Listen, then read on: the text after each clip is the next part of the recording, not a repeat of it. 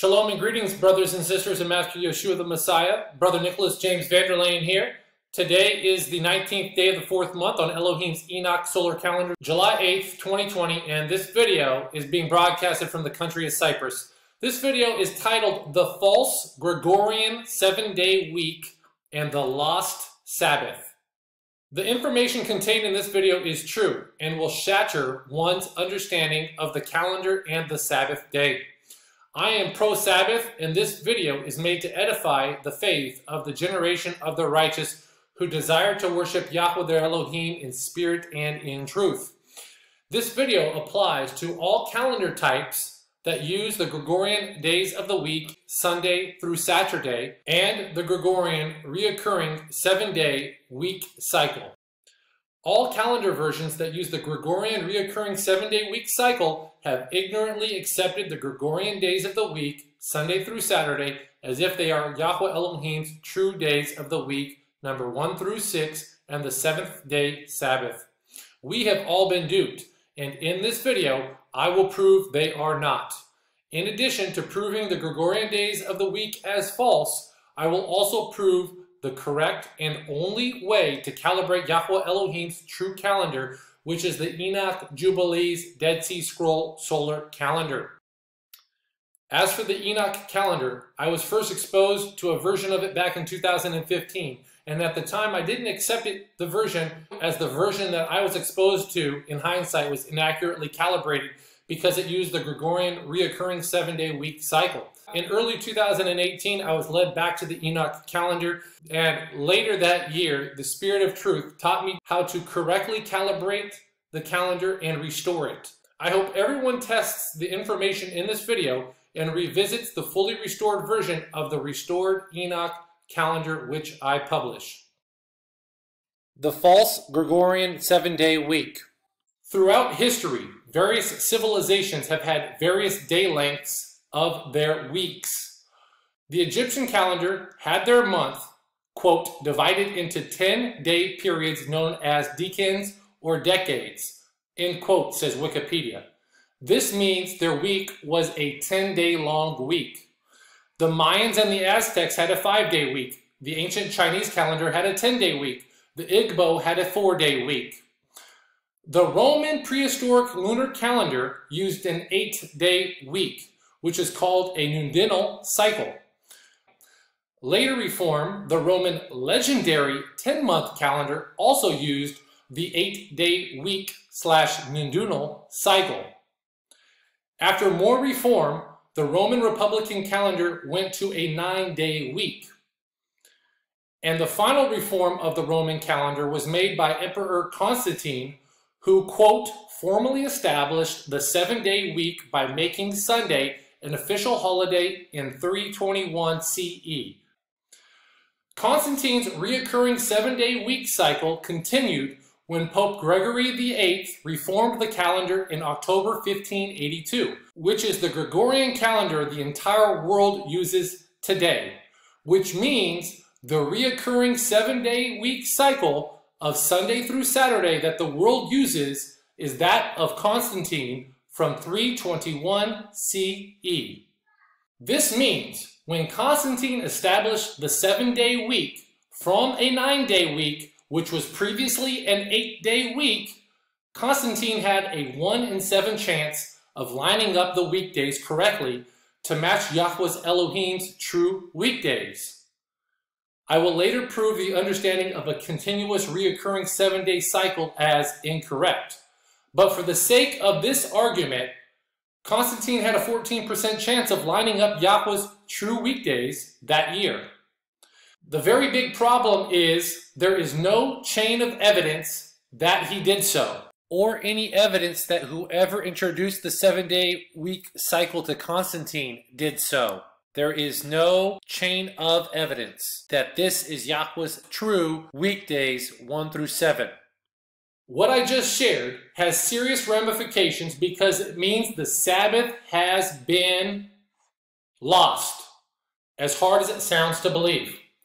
But before anyone dismisses me for this absurd sounding claim that the Sabbath is was lost, let me share with you that it was prophesied in the book of Jubilees that Israel would lose track of the Sabbath. Jubilees chapter 6, 32, verse 38. And command thou the children of Israel that they observe the years according to this reckoning, 364 days. And these will constitute a complete year, and they will not disturb its time from its days and from its feasts, for everything will fall in them according to their testimony. And they will not leave out any day, nor disturb any feasts. But if they do neglect and do not observe them according to his commandment, then they will disturb all their seasons, and the years will be dislodged from this order. And they will disturb the seasons, and the years will be dislodged. And they will neglect their ordinances. And all the children of Israel will forget, and will not find the path of the years, and will forget the new months, Rosh Hodesh, not moons, and seasons, and Sabbaths, and they will go wrong as to all order of the years.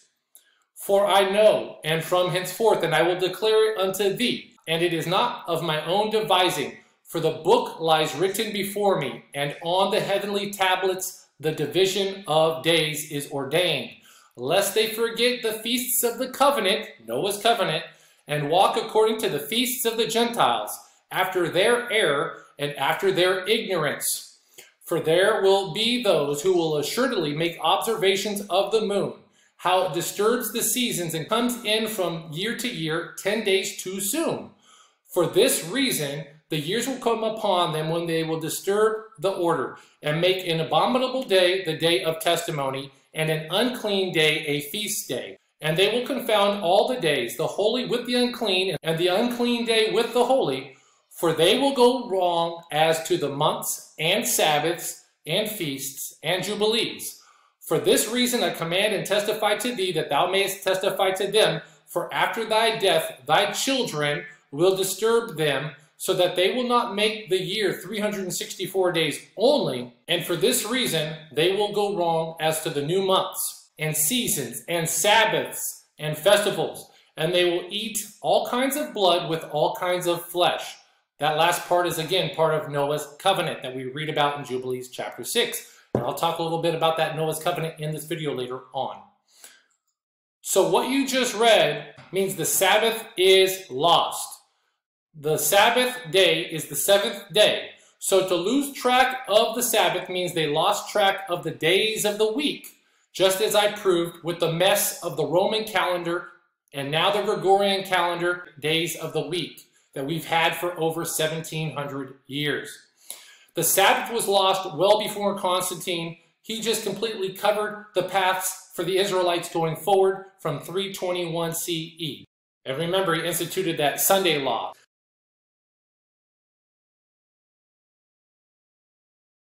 So the true calendar was given to the Israelites. The Sabbath was given to the Israelites, not the Jewish people. Not all people who claim to be Jewish are Israelites. Many of them are converts who have inherited lies.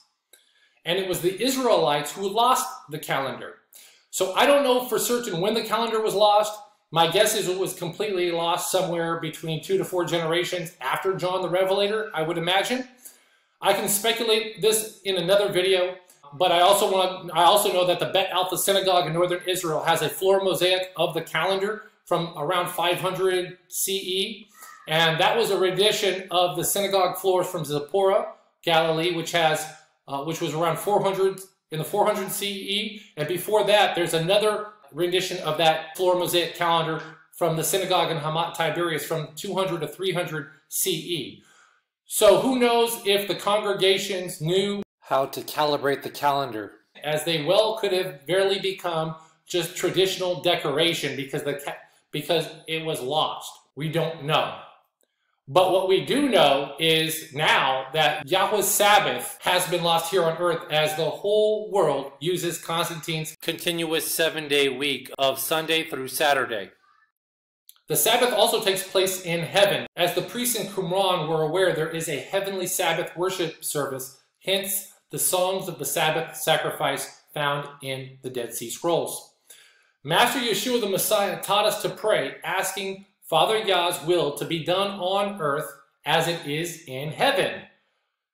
I teach that this means here on earth we are supposed to sync up to the heavenly calendar to worship Yahweh Elohim on his true Sabbaths and his true new months and his true festivals.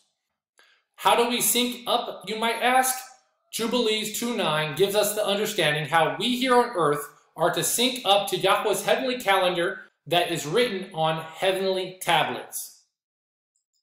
Jubilees chapter 2 verse 9 And Elohim appointed the sun to be a great sign on the earth for days and for Sabbaths and for months and for feasts and for years and for Sabbath of years and for jubilees and for all seasons of the years.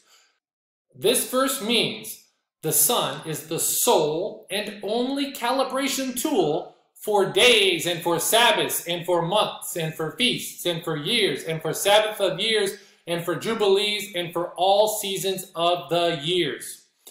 And the great sign of the sun on the earth is when the sun casts its shadow on the earth during the day of the spring equinox. This means the spring equinox calibrates the entire calendar, including the days of the week number 1 through 6, and the seventh day Sabbath. So now you're wondering, how does the spring equinox calibrate the days of the week?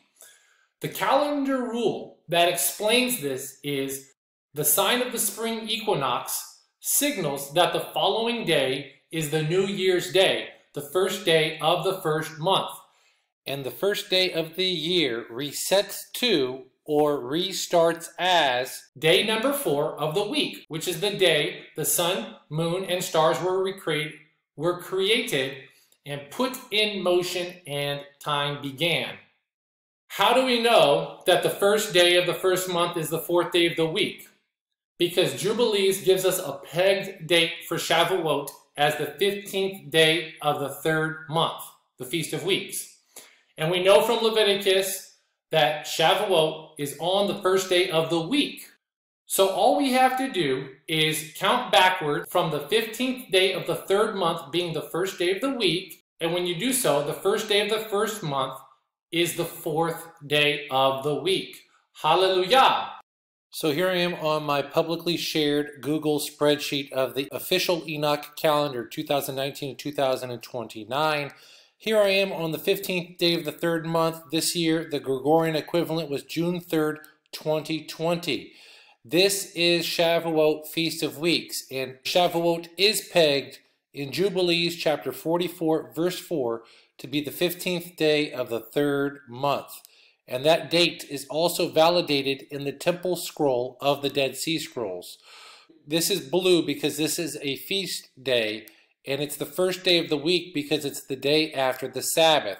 Sabbaths on this spreadsheet are outlined in purple. So all you have to do is keep going back. Here's a Sabbath, here's another Sabbath, another Sabbath, another Sabbath, another Sabbath, all the way back, all the way back as you're counting back from the 15th day of the third month. And that brings you to the first day of the first month, which is the fourth day of the week. So if this be the Sabbath day right here, then you have the sixth day, the fifth day, and the fourth day. That's how you verify the first day of the week. And the first day of the first month, which resets to or restarts as the fourth day of the week, happens after the day of the spring equinox. So to conclude this video, in it I expose the false Gregorian calendar we have all been ignorant of. If anyone refutes the false Gregorian reoccurring seven-day week, then the burden of proof is on you to prove that it is true and provide the documentation that when it was established that Constantine and his advisors did so accurately after the calendar was previously a nine-day week and before that it was an eight-day week. I don't think you can but the burden of proof is on you to prove it's true. This video proved the many false versions, wrongly calibrated Enoch Dead Sea Scroll calendars that use the false Gregorian days of the week, i.e. that they calibrate their year to the closest Gregorian Wednesday before or after the spring equinox to start their calendar year, depending on the false version. of the calendar. There's many publishers of false calendars out there.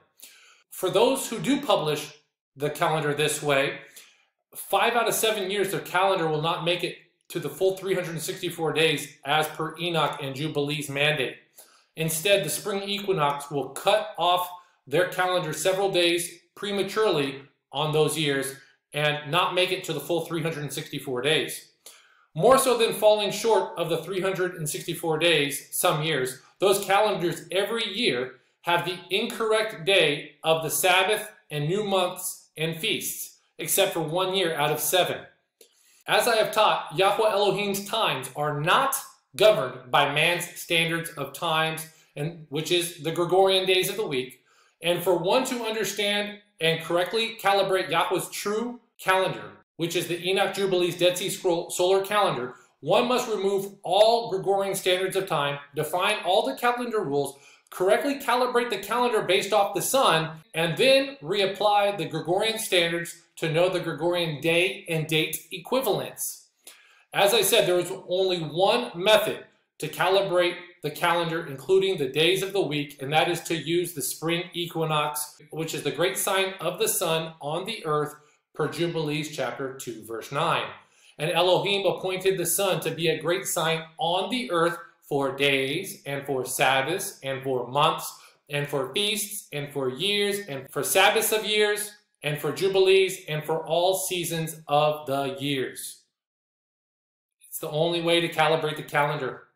This video you watched provided the proof that all calendars that use the Gregorian reoccurring seven-day week cycle as if they are true days are false.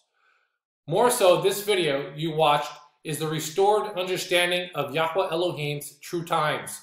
All praise to the Father and the Son. Hallelujah.